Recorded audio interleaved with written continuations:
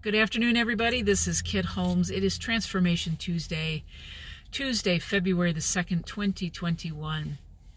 I'm coming to you from the uh, front seat of my vehicle today as uh, I've been meeting with a friend this morning, um, earlier this afternoon, I should say, and um, just having one of those really wonderful conversations connecting about art and creativity and um, spirituality and the brain and all kinds of wonderful insights. And um, not just because we're connecting and we haven't actually seen each other in face to face masked outside in person in a long time. And it's just this um, one of those moments one of those experiences that we often have when we are with people of like mind and and we're all on the same page and we are allowing spirit to do its work, do its creativity through us. And when that happens, we, uh, most of us know that um, time stands still or time flies, whatever um, parameter we want to give it. But what I know in the title that I put on this today is Time is on My Side. I, I talked last week about um, the running together of days and hours and moments and um, and wondering where time has gone because I've been involved in things that I have really enjoyed. And with my work, with my studies, um, all of those things with my relationships. And I'm finding this, this, um, incredible kind of um, in between time, magic space time, as it were. The time is flying by. And I'm grateful, not grateful that it's flying by, but I'm grateful to acknowledge that there is so much good happening not just in me or, or just to me, but around me.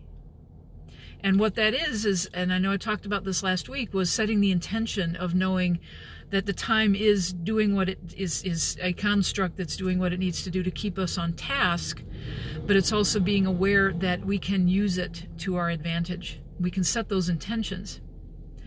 I want to share with you today just one of those, um, an idea, and um, I am starting a book study tomorrow evening, Wednesday, February the 3rd at 6 p.m. Central Time, on the book How God Changes Your Brain by um, Dr. Andrew, Andrew Newberg and Mark Waldman. And they are neuroscientists. Um, I, um, Dr. Newberg is. Um, but um, Mark Waldman happens to be one of my professors right now, and it's been a glorious time to talk about brain function and uh, and how the um, the science behind belief. So I'm going to invite you to this class because it is just kind of, pardon the pun, it has blown my mind in a very very good way. Most especially about how we visualize and how we think about time, and how we fill up our brains with so much stuff that seems to um, wrap up that time in knots sometimes. So I'm going to do a breathing exercise with you in just a moment, but I would like to, as I said, invite you, and you can find that class if you go to unityofwimberley.com, and it's Wimberley, L-E-Y, is how you spell that, Wimberley, Texas. unityofwimberley.com, and you will find that class. You will find the information. It is online, so you can be anywhere at, uh, at wherever you are. You can join us. You can, of course, um, find the book online, and I highly recommend it if you're into it. I will give you the caveat that this class is not a lot of science stuff. Okay, that might turn some people when you say neuroscience and they go, ah. It's it's in real in real talk, real people terms. And I know the discussions are going to be lively just based on the discussion I'm having with my friend this afternoon.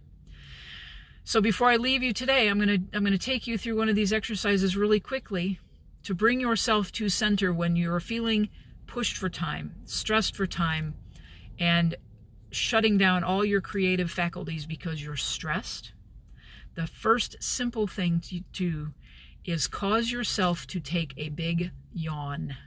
Yep. Stick your arms up in the air, stretch, breathe in, do a and I hope that's contagious because that simple act will bring you to the present moment quicker than anything that you can imagine, other than taking several very deep breaths. It's just a trick of the of, of, of another thing we can do with our minds to switch ourselves into calm, centered, creative, curious modes. All right. I hope to see you in class every Wednesday this month. Starts tomorrow, February 3rd, 6 p.m. Central Time. And if you feel so inclined to share this with other people, please do. Uh, unityofwimberley.com, you'll find the link. Um, you'll also find that There will be fa- Facebook events to do that. But share this this meeting, this meeting. My, my, my mouth isn't working. My brain, you know, you know what I'm trying to say. Thank you for joining me today. If you feel inspired, share this with somebody else. I'm here every Tuesday at 1 p.m. Central Time. I love you dearly. We'll see you next time.